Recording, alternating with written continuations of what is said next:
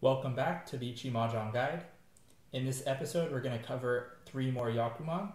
The thing that all of these Yakuman have in common is that they restrict your hand to specific tiles. The first one that we will discuss is Tsuuiisou, or All Honors. It's as simple as it sounds. It's a Yakuman that can be claimed regardless of whether your hand is open or closed, as long as every single tile in your hand is an honor tile. So in this case, we have uh, open triplets of the Haku, North, and East, and we're waiting on either a Hatsu or West to win.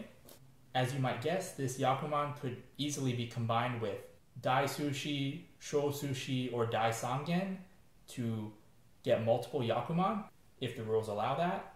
But if you can't quite get there, Tsuuiisou by itself is still a single Yakuman, so that's not bad at all. The next Yakuman I'd like to discuss is Chinroutou. It's just like Tsuuiisou, except that instead of honor tiles, your hand has to be entirely terminal tiles. And of course, this hand can be open or closed. It just limits you to only having ones or nines in your hand. And that's even more difficult than a Tsuuiisou because not only are there less terminal tiles than there are honor tiles, terminal tiles are also slightly more useful in other players' hands than honor tiles. So it's much more difficult to win a Yakuman like this. The last Yakuman we're going to cover in this video is Ryuuiisou, or all green.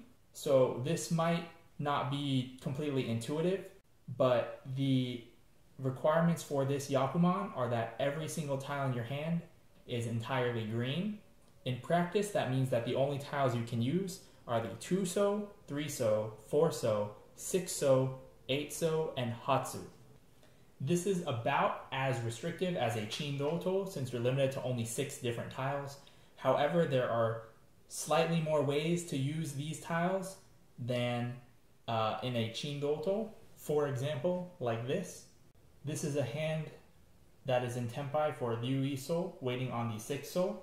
We have an open sequence of 2, 3, 4 so. We have an open triplet of the Hatsu and an open triplet of the 8 so with a concealed sequence of 2, 3, 4 so waiting on the 6 so.